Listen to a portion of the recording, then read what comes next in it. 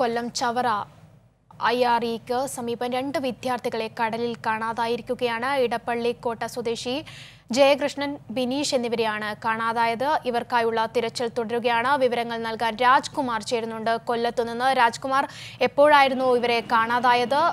എന്തൊക്കെയാണ് ഇപ്പോൾ ഇവർക്കായിട്ടുള്ള തിരച്ചിൽ പുരോഗമിക്കുകയല്ലേ? വിവരങ്ങൾ.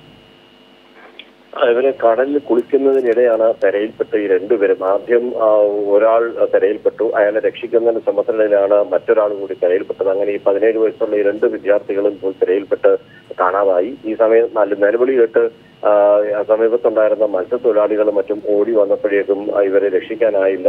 കടലിന്റെ തിരയിലേക്ക് നായികയായിരുന്നു.